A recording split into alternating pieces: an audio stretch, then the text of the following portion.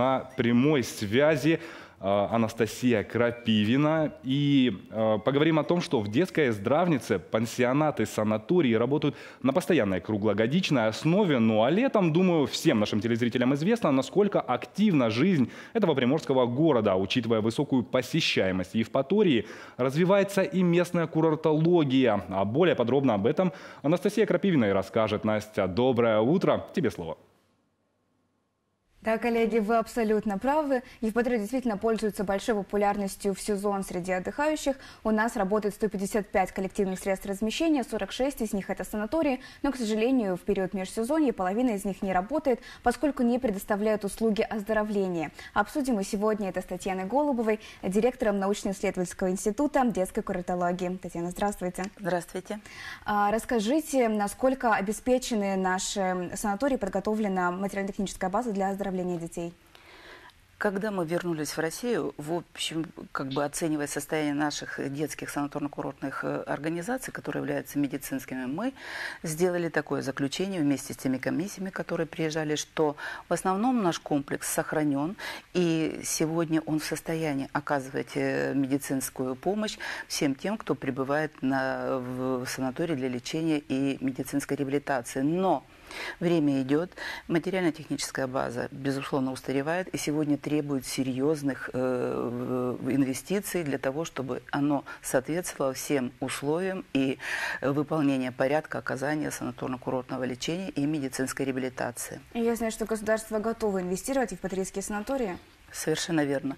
Нужно сказать, что детству в Российской Федерации и уделяется и у нас в Крыму достаточно серьезное внимание. Мы знаем и хорошо известный перечень поручений президента Российской Федерации. Это начало еще с декабря 2016 года. За этот промежуток времени э, и в Российской Федерации было заседание Координационного совета и Федерального собрания, на которых принимали участие представители правительства и ведущие наши ученые и представители практического здравоохранения.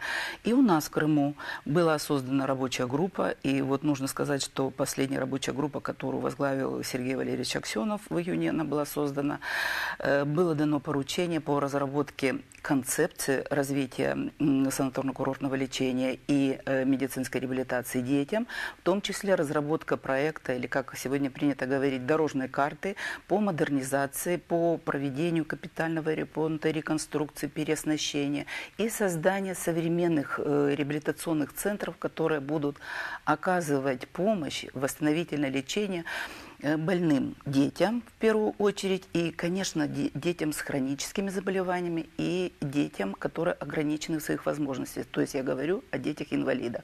И нужно сказать, что сегодня этот проект, который, в котором и мы, как э, сотрудники научно-исследовательского института, принимали участие, мы предлагали э, варианты и концепции, и проекта развития детского санаторно-курортного лечения. Сегодня очень активно обсуждается, и сегодня он несколько раз отправлялся в Министерство здравоохранения Российской Федерации. Неделю назад состоялось большое серьезное совещание. И один из вариантов сегодня рассматривается передачи наших детских санаториев на федеральный уровень для того, чтобы реализовать все поставленные задачи по поручению президента Российской Федерации. Но это, конечно, касается не всех санаториев города, это, правильно? Это касается, в первую очередь, э, наших восьми детских санаториев, которые подчинены Минздраву Республики Крым. Это медицинские организации, организаций, которые работают круглогодично и принимают в первую очередь детей, диспансерные группы, которые состоят по месту жительства у себя в поликлиниках. После перенесенных заболеваний и подлежащих диспансерному учету, я, безусловно, говорю о больных детях, о больных. Э, это наш э, курорт, вот Евпаторийский, бывшая э, всесоюзная здравница, всеукраинская, теперь мы надеемся, что она станет всероссийской здравницей, принимает к себе практически 80% детей, которые состоят на учете по заболеваемости. Это направление сердечно-сосудистой системы, органов опоры движения, неврология, органы дыхания.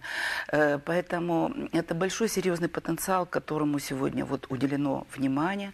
И я просто верю и хочу, чтобы чтобы это реализовалось, потому что восстанавливать здоровье и в том числе больных детей – это большая государственная задача, это потенциал нашего государства, это будущее нации нашего государства. Поэтому сегодня это дети, буквально через 5-6 лет это молодое трудоспособное поколение, которое будет работать и будет э, представлять наше государство.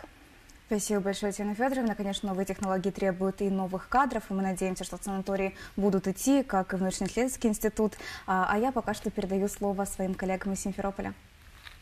Большое спасибо, Настя. Желаем вам интересного и продуктивного дня. Напоминаем, на связи был Евпаторийский филиал телерадиокомпании «Крым» и корреспондент Анастасия Крапивина.